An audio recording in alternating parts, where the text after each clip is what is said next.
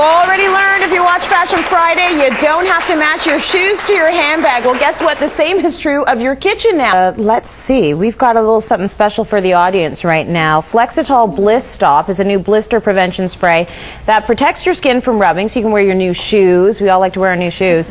Everyone in today's audience will take home a Blistop spray and a heel balm. We're also going to be drawing for baskets full of pampering products. Enjoy that, guys. Taking a quick break now. Stay with us. More coming up. Style at home get your question.